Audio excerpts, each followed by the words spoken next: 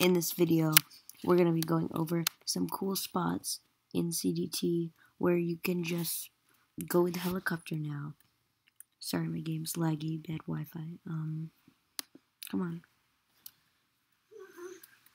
Hi, lag. okay. so, um, you want to go in this? Yep, the heli, obviously. Um, first,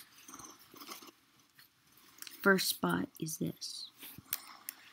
The, the ship over over here by the port. Um, this ship was never accessible until now.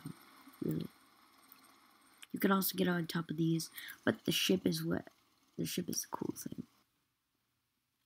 And like, look at this bad boy. Yee! You can tell it's done kind of poorly over here. But, uh, and I you walking on air, but, yeah. That's the first spot. And as you see, the second part is literally just the roof of any building. Because, um, yeah, the roof's probably the most exciting thing. Especially with this egg hunt. Because you get to, you can get eggs off roofs. Yeah. Not really what, not a really easy way to describe it. But okay. Um, it can also be flat cliffs faster.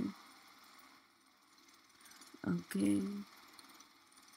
As you can see, um, yeah, on the new map there actually is no like mountain, because you can go. This this is the mountain like that I'm flying over now, the grassy area.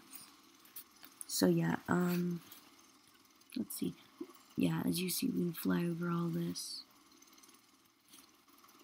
Um,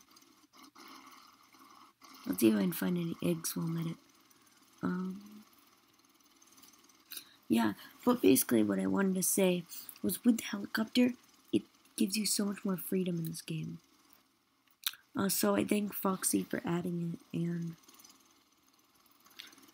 yeah, um, what all I had to say, um, sorry if my voice is a little quiet, um, yeah, and I'll see y'all in the next video.